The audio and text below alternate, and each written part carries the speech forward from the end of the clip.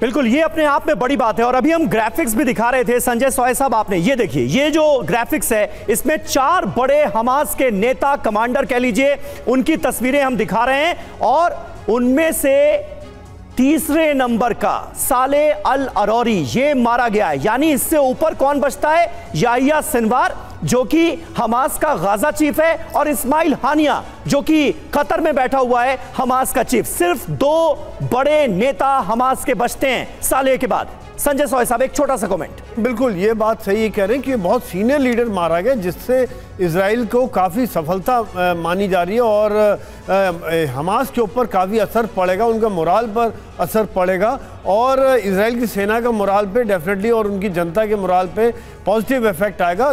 अगर लेबनान में किया गया तो वहाँ पर जो अभी आप कह रहे थे कि ये खतरा हो सकता है कि हिजबुल लेबनान की सरकार ने कहा कि हमारी धरती पर यह हमला अच्छा नहीं है, ठीक नहीं है, उन्होंने इसका काफ़ी भर्सना की है। उधर से इसराइल इस चीज़ के लिए मना कर रहा है कि हमने ये नहीं किया है। तो ये देखा जाएगा कि आगे इसकी डेवलपमेंट क्या होती है लेकिन इतना सीनियर लीडर माने मारे जाने से वाकई में उनके मोराल में इफ़ेक्ट पड़ेगा और इसके पीछे बिल्कुल सही बात है ये बड़ा हमला है और इसका बड़ा असर आने वाले वक्त में नज़र आएगा। असर का हम ज़िक्र कर रहे हैं असर से ही जुड़ी एक बड़ी खबर है तुर्की में गजब की हलचल देखने को मिल रही है। तुर्की में मोसाद के खिलाफ बड़ी कार्रवाई अंजाम दी गई है। अनीश मोसाद तो निशाने पर आना ही था। ये बहुत ही नेचुरल रिएक्शन है। अब तक जिस तरह से मोसाद की एक्टिविटीज़ हुई हैं, क्या हैरानी है इस तरह की कार्रवाई पर?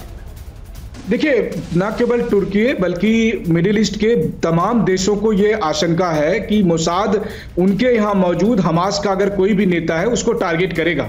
और इसी संदर्भ में जब तुर्की की एजेंसी को पता चला, उसने एक छापेमारी की है और उसके बाद ये वीडियो जारी करके बताया कि उन्होंने तैतीस ऐसे लोगों को गिरफ़्तार किया है। तो इसका मतलब है कि मोसाद एक्टिव है। मोसाद तुर्की में एक्टिव है, मोसाद सऊदी में एक्टिव है, मोसाद दुबई में एक्टिव है, मोसाद उन तब, कतर में एक्टिव है। यानी कतर में हो या तुर्की में हो, जहाँ मौका मिलेगा, इस्माइल हानिया मारा जाएगा। या इस्माइल हानिया के साथ साथ जो भी पॉलिटिकल विंग के लीडर हैं, वो सब मारे जाएँगे। लेकिन मनीष, जो हिम्मत लेबनान में की है इसराइल ने, वो क्या तुर्की में अंजाम दी जा सकती है? इस बारे में सोच भी सकता है इसराइल क्योंकि तुर्की एक नेटो कंट्री है।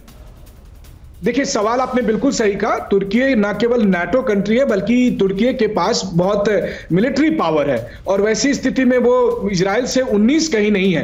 लेबनान के साथ मैं आपको बताऊँ कि मेरा खुद का भी अनुभव है चूँकि मैं इसराइल लेबनान बॉर्डर पर कई बार गया। लेबनान के पास एयर डिफेंस सिस्टम नहीं है उसके पास फाइटर जेट नहीं है। तो लेबनान का जो एयर स्पेस है वहाँ पर जब चाहे सीरिया की तरह इसराइल हो या अमेरिका हो आकर अटैक करता है या कर सकता है। लेकिन तुर्की के साथ आप ऐसा नहीं कर सकते। दुनिया में आज अगर सबसे अधिक विध्वंसक ड्रोन किसी के पास है तो वो तुर्की के पास है। अगर तुर्की में जाकर वो ऐसा करते हैं तो उसका अंजाम भुगतना पड़ेगा। लेकिन फिर भी मोसाद ऐसा कर सकता है। ये बात तुर्की या तमाम मिडिल ईस्ट देश समझ रहे हैं। और यही वजह है कि भले ही नेतन्याहू ये बात कह रहे हैं कि हमने नहीं मारा, लेकिन पूरी दुनिया और मिडिल ईस्ट जानती है कि लेबनान में साले अल अरौरी को मारा किसने। है बिल्कुल। बिल्कुल मनीष और लौटेंगे आपके पास। देखिए अल अरौरी की हत्या पर फिलिस्तीनियों का भड़का गुस्सा। रामल्ला में इसराइल के खिलाफ ज़बरदस्त प्रदर्शन। हज़ारों की संख्या में लोग सड़कों पर उतरे गुस्साए लोगों ने कि इसराइल के खिलाफ नारेबाजी। ये देखिए, प्रदर्शन रमल्ला में और जिस तरह से एक्शन हुआ है इसराइल की तरफ़ से, उसके बाद ये नाराज़गी, ये प्रोटेस्ट।